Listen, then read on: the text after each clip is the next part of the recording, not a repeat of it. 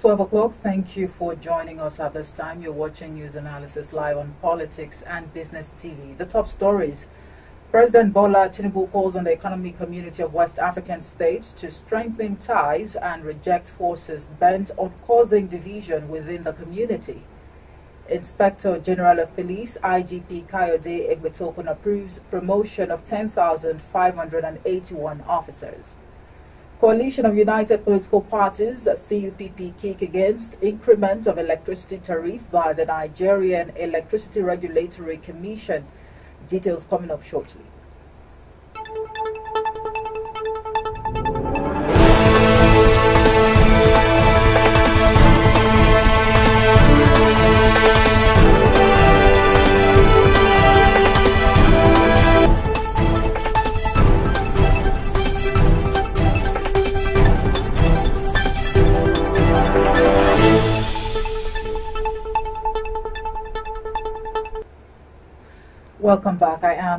Omoife Peace Osemere. And now President Bola Tinubu has called on the economic community of West African states, ECOWAS, uh, member states, to come together, strengthen ties, and reject forces bent on causing division within the community.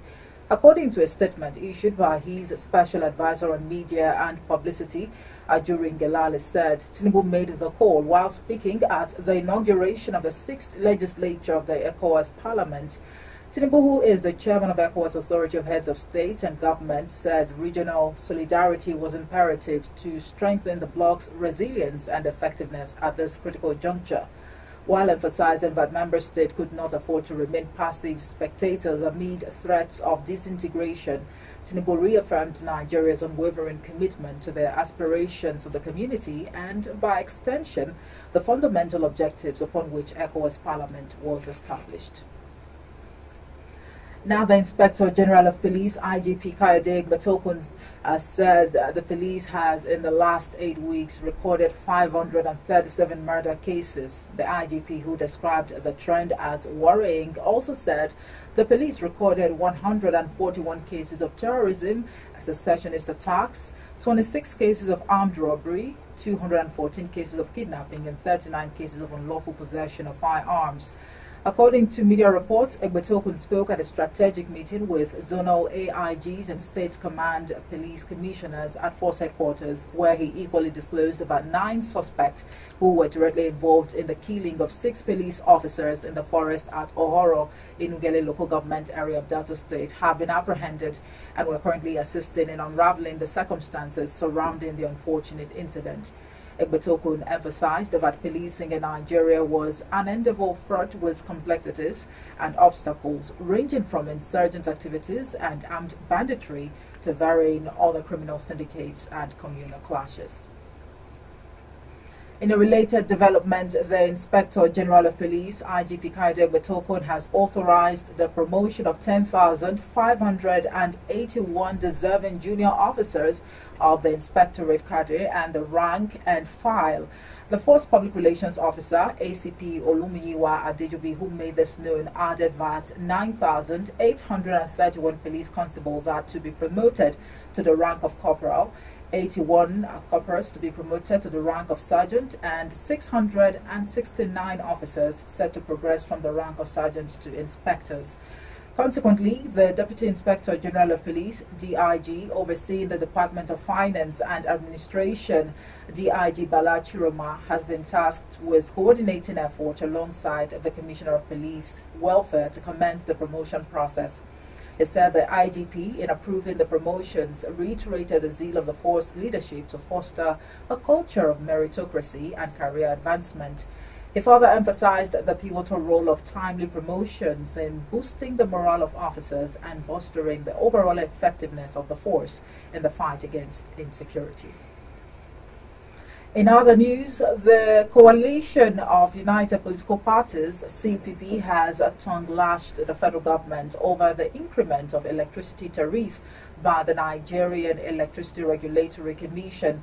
It will be recorded by the Nigerian Electricity Regulatory Commission, NERC, had on Wednesday increased the electricity tariff paid by Band A customers from 68 naira per kilowatt per hour to 225 naira per kilowatt per hour. But the CUPP, in a statement signed and issued to Politics and Business TV News by its General Secretary, Ahmed Peter Yakubu, said the hike in electricity tariff would further push Nigerians into multi-dimensional poverty. The coalition stressed that the effect of a 240% tariff increase on Band A customers will negatively impact the manufacturing sector and also trigger the inflation rate.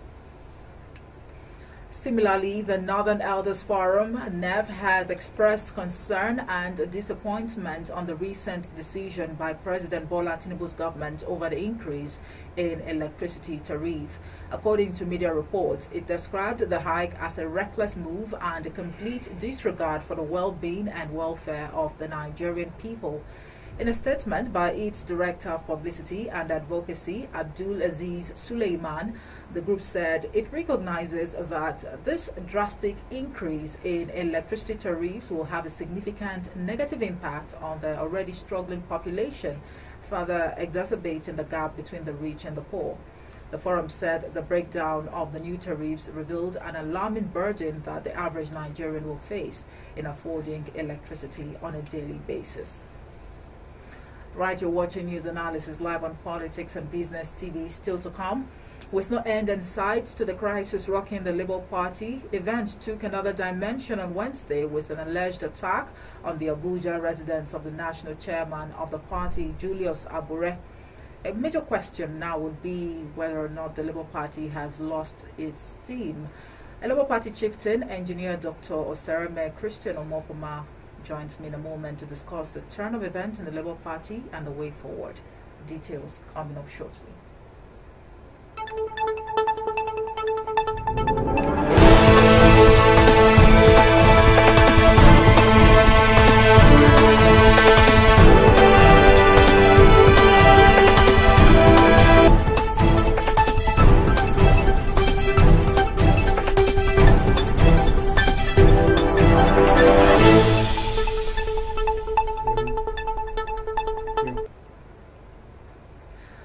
Back from that break. If you are just joining us, this is News Analysis Live on Politics and Business TV.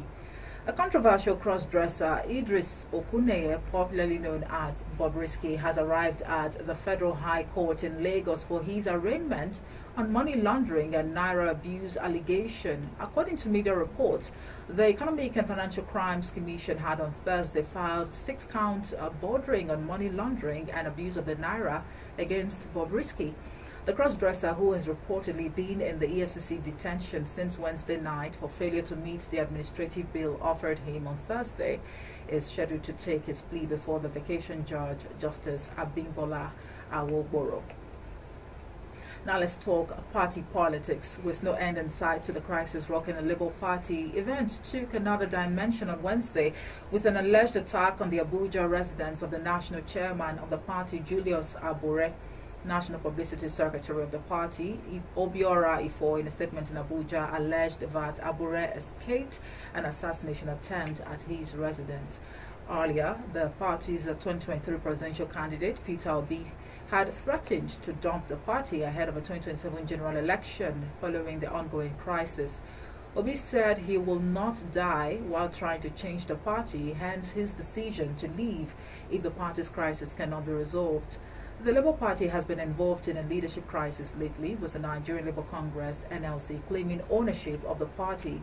Consequently, six lawmakers elected under the party in Enugu had pitched tent with the People's Democratic Party.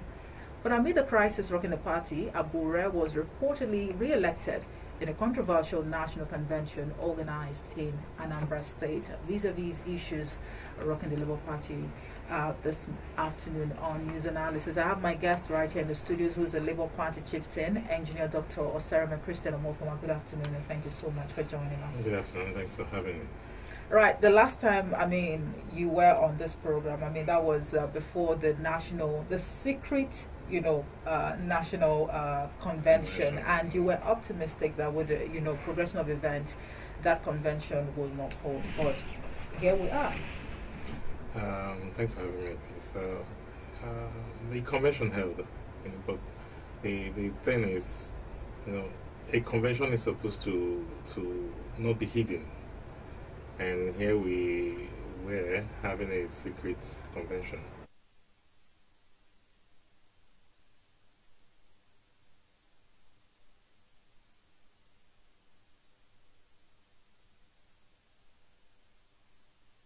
So what was going on? A lot of petitions were written. People complained.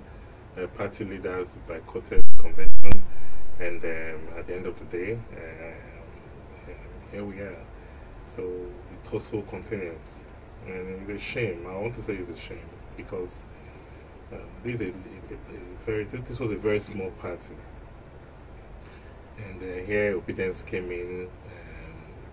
Peter Obi came in, and Obidients followed suit and the party became something else. You know, it's like uh, moving into a neighborhood where you have only one boys' quarter, and all of a sudden you have made that neighborhood into a town of six million homes. And um, you know, I, I believe when that happens, you have a say. Automatically, you have a say what happens in that neighborhood. Okay, before we even talk about you know the role um, Peter Obi has played so far with regards to the party, you know um, the crisis rocking the party. Now, another question would be whether or not the NLC. I mean, NLC has been claiming ownership of the party, but for Abure, Julius Abure, to go ahead with the secret national convention, further flouting, you know, the stance of INEC that no, you're yet to meet, you know, the, the, the necessary, you know, standard or requirements to even have, you know, a national convention.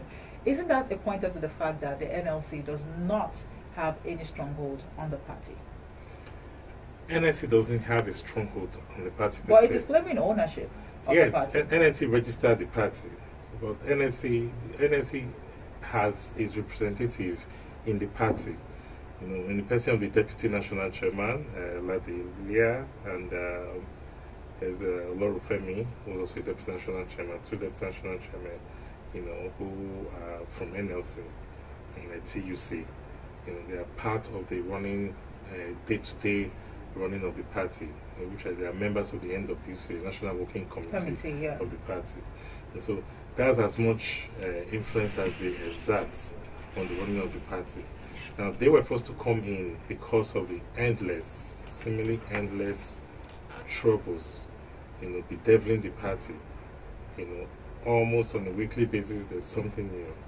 Uh, and uh, it, it became imperative that stakeholders uh, from all walks of life will start asking what is going on. You know, and it's only NLC, TUC is there, other stakeholders. Now the board of trustees, which has been silent, almost like they were not there, you know, has stepped up and said, uh, no, that convention cannot stand. You know, in fact, they, they, they, they, want to, they're thinking about bringing in a new um, kind of congregation of stakeholders to manage the day-to-day affairs of the party and plan a proper convention and a proper transition. Okay. You. But are there takeaways you'd like to share with us? I mean, from the secret national convention, which you know held in Anambra State. I or you wasn't did there. not monitor. No, I You wasn't didn't there. with their feedbacks. I wasn't there, and Yeah. uh, cameras were not even allowed into the place. News media were not allowed into the place. That's why you don't you don't have it in any the, the major news outlet. yeah. Yeah, so I mean, national convention uh, where you didn't allow um, news, news media in there. You know, that's that tells you a lot. You know, and um, so there isn't much I could say except that people went there and got themselves re-elected, and they want to continue running the party in this fashion, which we all have seen. It's really also no results. It cost us a lot of votes. It cost us. It's still costing us a lot of members. You know, people are. You know, the, the, we're supposed to have a surging that more and more people, especially with the economic situation in Nigeria, seeking refuge in the Labour Party and saying, "Hey, you guys try to change the status quo and all that." You know, but instead, the reverse is the case. Well, let me ask you this: Do you regret pitching your tent? You know, pitching tent with the Labour Party. I don't regret pitching my term Labour Party uh, because um, well, what is the alternative? Before you start regretting it, you look at what is the alternative. What choices do you have? You know, the party is like any other organization. You know, you can join an organization. And if you look at it from outside, oh, this house is beautiful. This organization is beautiful. But on getting in there, you see that oh my God, there are problems. You know, all these problems can be solved. You know, like last interview, I told you guys, it's a question of leadership. It's a question of leadership. The same problems between Labour Party is what is what's happening in Nigeria. Okay, we can solve these problems. Just just for us to sit down and say, okay, hey, what is the problem? Where is it coming from? You know, how do we tackle this? If people decide to reason together, unselfishly, you know, look at the problem to what it is, you know, and let us tackle it head on. You know, it's not a question of people thinking, hey, we've been here before, we were here, the party is big now, somebody's Right. trying to push me away, Mm. somebody's saying, no, go relax. No. Are you capable? Are you able to do the work? Right? You you may have been employed as, say, a, a clean and organization, a small organization. Now you are in a, a, high rise, you are in a much, uh, sorry, a, a high rise building with 50 floors. You know, we were used to cleaning just one floor. Now we have 50 floors, and people are saying, "Hey, we want to bring in industrial cleaners." You know, people who have equipment, who have machinery, you know, to take care of 50 floors. And you are saying, "We have been here 20 years. I've been cleaning this floor 20 years." You know, but now you cannot clean 50 floors. No, but you know the the, Yeah. the, the summation. I mean, your your, your submission right now, uh, with regards to all that has been going on, you know, in the Labour Party, would it be intelligent to say that it only goes to show that, I mean, the leadership, I mean, the foundation is already faulty, and perhaps those who came together to even you know register and you know um, put up a party called Labour Party, like they they, they don't have uh, their thought patterns are quite you know different. No, that, that's not the case. The foundation is not the problem. You yeah, it's, it's a good If the foundation is not the problem, how did Julius Abure become the, the, the, the party uh, uh, national chairman? I'll just give you an example now, Mm. right? Yeah. Time changes. Time changes people, time changes things, you know, and with time, Labour Party has evolved. Labour Party of 2021, Labour Party of February, March 2022 is not the Labour Party of today. It's a whole different thing, a ball game entirely.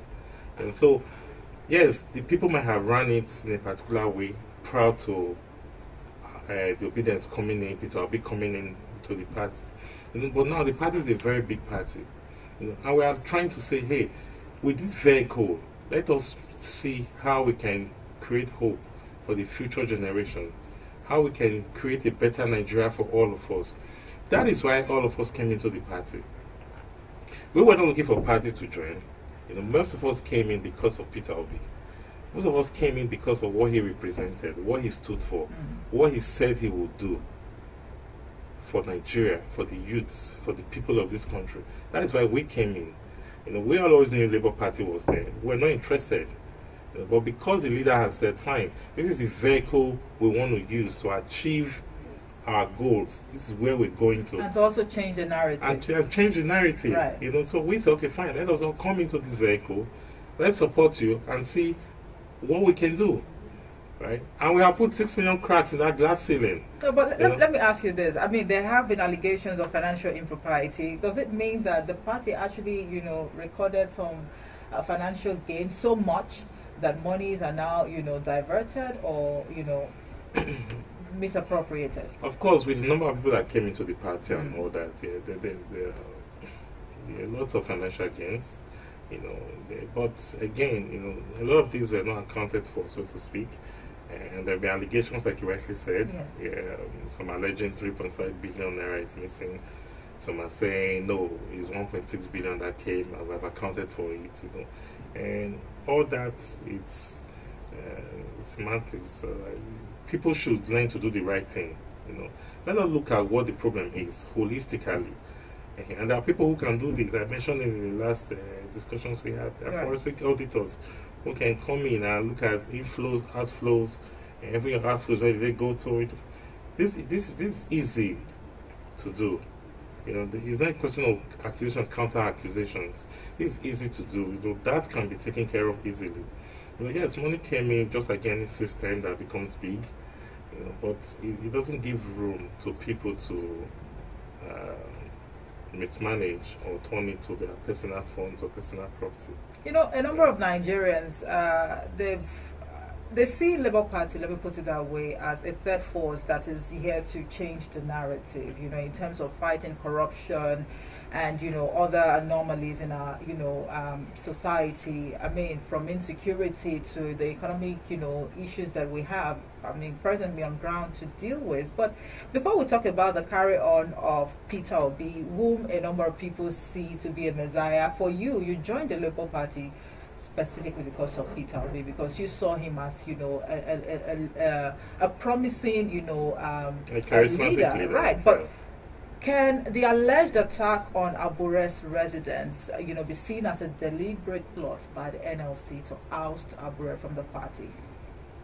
Um, I don't know, commiserate with him for the um, property loss, uh, but uh, I don't see any reason why any, any NLC will have to go tag the residents. Now, I asked you this question because you know, of course, the NLC actually, you know, stormed the, the party secretariat.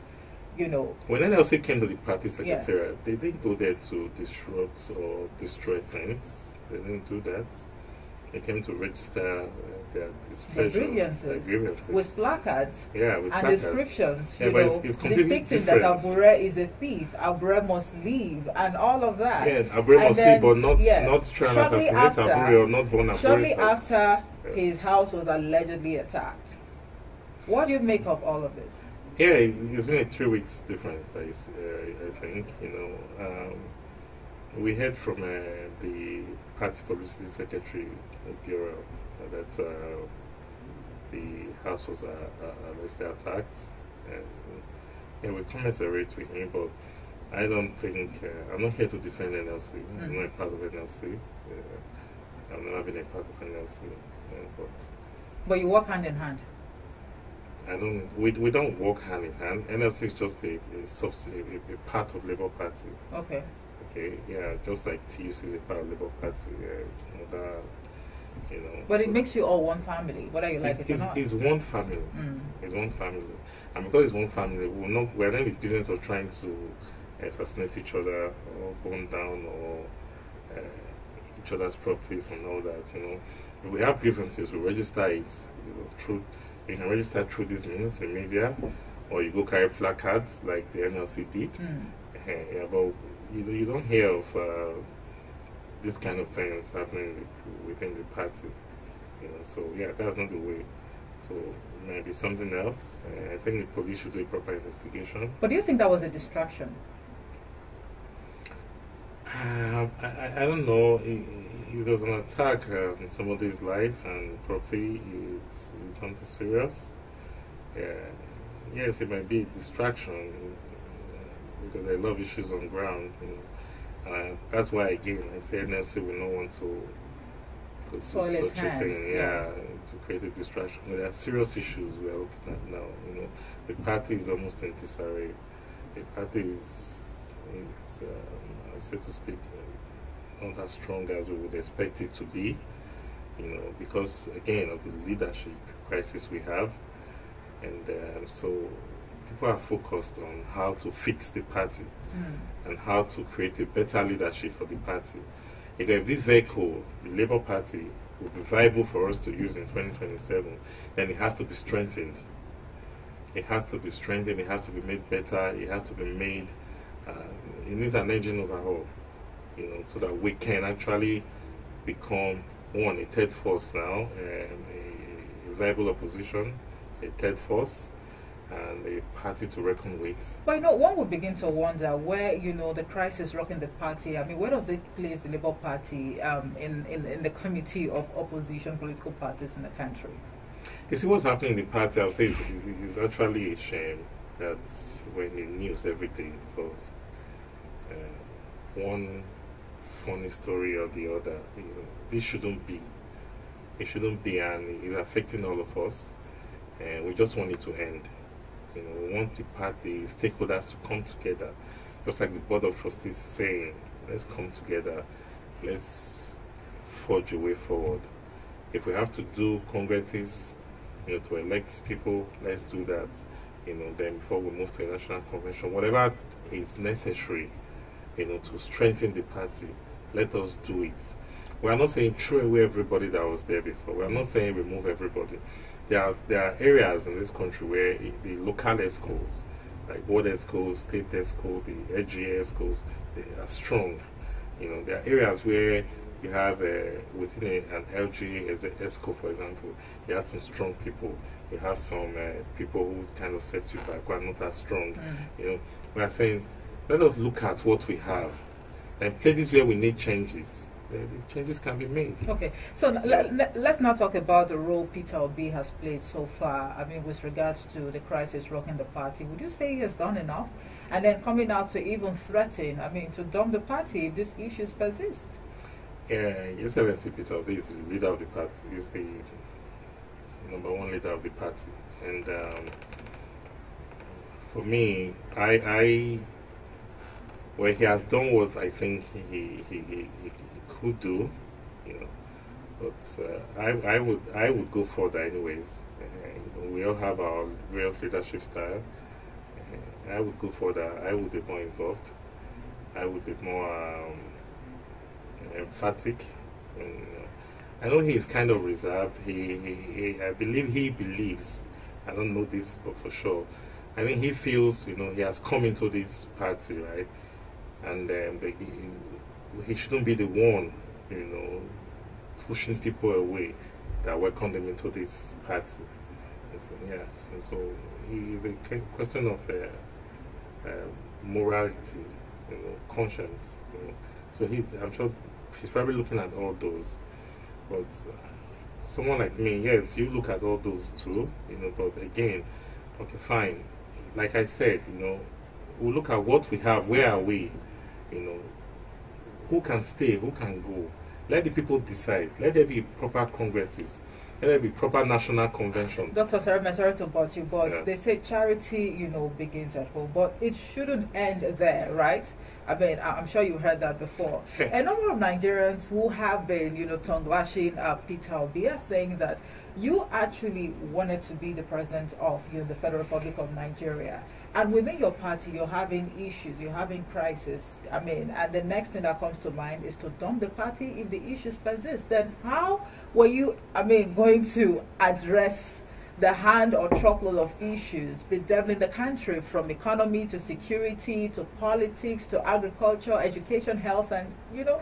He, he, he, he, yes, charity begins at home. You know, he has intervened on right. several fronts, on several levels. You know, has intervened, no doubt, and uh, he has done quite a lot.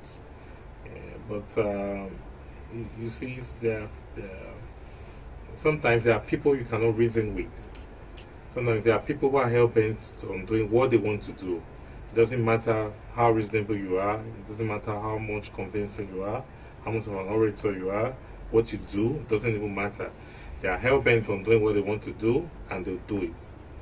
You know, so yeah, he has tried, he has done uh, much, you know, but I like like I'm what I'm saying is um, you know he, I don't think he's leaving the party. Okay. He's only saying that uh, as look, we must not. This is not a hill we are ready to die on. Okay. You know, if if these people are these recalcitrants, if they don't want to change, you can force a horse to the river. You can't force the horse to drink. Absolutely, absolutely. So, yeah. um, to wrap up the conversation now, because time is not our friend, I need a yes or no response again, just to you know reaffirm. Do you regret pitching tent with the Labour Party? In a yes or no response. No, I don't. Right, thank you so much. Uh, I'm afraid we just have to leave the conversation here. I've been speaking with the Labour Party chieftain, engineer Dr. Sarah Christian Omofoma, discussing, you know, the crisis rocking the Labour Party. But I'm afraid that's just about it for today. Thank you so much for watching. I am Omoife Piso Semere. I'll be back at the top of the hour with the news update. Good afternoon.